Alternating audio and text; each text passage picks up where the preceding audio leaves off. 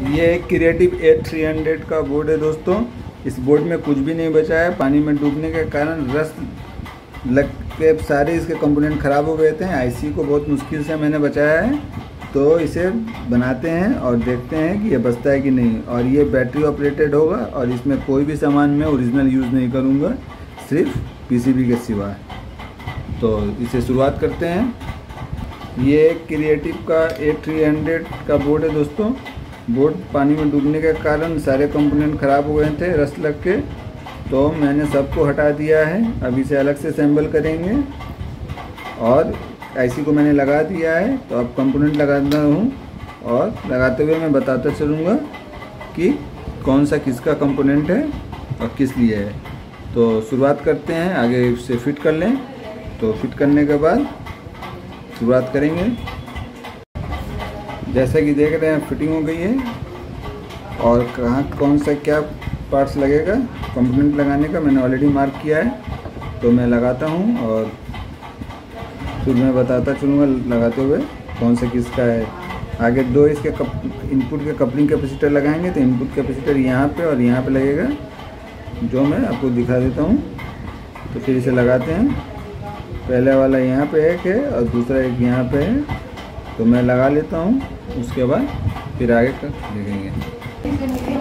आप कैपेसिटर को लगाते हैं।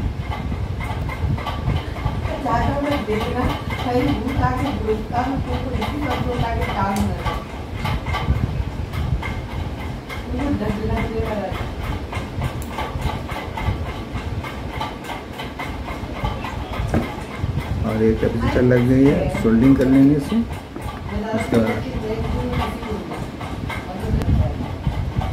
ये इनपुट कैपेसिटर लगाए लगाया जा चुका है। अब इसके आउटपुट कैपेसिटर को लगाएँगे। दोनों आउटपुट कैपेसिटर यहाँ और यहाँ लगेंगे तो आगे स्विच लगा देते हैं। उसके बाद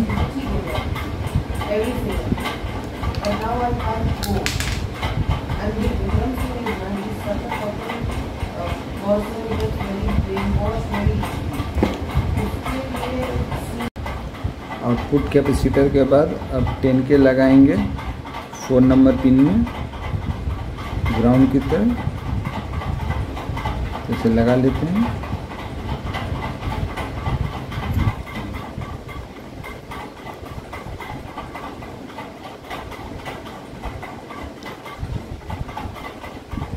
ये दो नंबर पिन वाली ग्राउंड आएगी। उसमें इसे ग्राउंड करना है और ये चार नंबर पिन है। तो इसको देख लेना है ग्राउंड को। और इसे सोल्डिंग कर लेते हैं। ये कैपेसिटर लग गई है और इसके बाद अब 40 नंबर पिन से 10 के को ग्राउंड करेंगे पावर कनेक्ट करेंगे। 60 नंबर पिन से नहीं करनी है। मैं बार बार कहता हूँ T D S eight five one zero J का 60 नंबर पिन से कोई भी कनेक्शन नहीं होगा। 40 नंबर पिन से कनेक्शन करना है पावर को 10 के से करेंगे, उसके बाद पावर के बाद स्पीकर कनेक्शन और पावर होगी, और इनपुट कनेक्शन बस ये रेडी तो 10 के को लगाते हैं। ये 10 के यहाँ पे लगा दी गई है दोस्तों। यहाँ पे और अब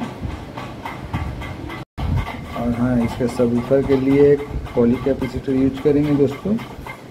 अगर नहीं है तो इलेक्ट्रोलाइटिक कैपेसिटर यूज़ कर सकते हैं वन माइक्रोफेरेट तक, पर माइनस बाहर की तरफ़ रहेगी इनपुट के साइड में। याद रखनी होगी इस बात को कि माइनस बाहर की तरफ़ रहेगी इनपुट साइड में तो इसे लगाते हैं। ये सब ऊपर की कैपेसिटर इनपुट के लिए लगा दिए हैं। और अब आउटपुट और इनपुट का कनेक्शन होकर देख लेते हैं जूम करके टेन के लग गया है। और सारे कंपोनेंट यहाँ पे बैठ गए हैं। अब सिर्फ़ इनपुट और पावर कनेक्शन और स्पीकर के लिए आउटपुट लगाते हैं और टेस्ट करेंगे। दो नंबर पिन जैसे कि ग्राउंड है, ये वाली पिन तो इसको सात नंबर से ग्राउंड करेंगे। सीधा यहाँ पे एक जंपर लगाएँगे और ध्यान रखेंगे कि शॉर्ट ना हो। बहुत सावधानी से जंपर को लगाएँगे। सात नंबर पिन से दो नंबर के लिए सीधे। शॉर्ट ना हो इसका ख्याल रखेंगे।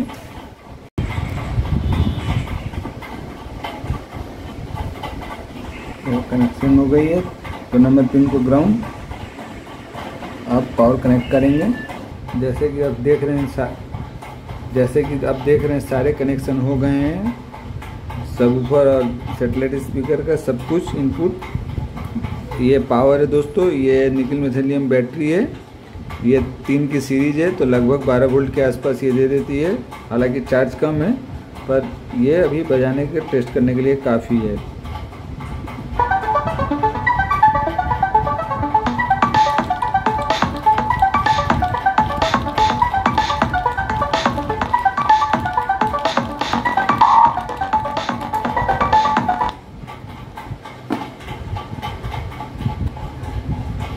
स्पीकर खुले होने के कारण आवाज़ काफ़ी कम आ रही है। इसे हम लोग बड़े सबूफर और बॉक्स के साथ बजा कर देखेंगे। एक छोटी सी गाड़ी के लिए काफ़ी है। छोटी हाथी या किसी भी इस टाइप के गाड़ी व्हीकल्स के लिए काफ़ी अच्छी है। 12 वोल्ट पे ऑपरेटर कर सकते हैं। आराम से चल सकती है। और अगर हाँ ज़्यादा गर्म और ज़्यादा अगर ज़ोर से बजानी हो, अगर हीट सिंग गर्म है तो उस फ़ैन या कुछ भी हीट सिंग लगा सकते हैं। हालाँकि इसका हीट सिंग काफ़ी है इसके लिए।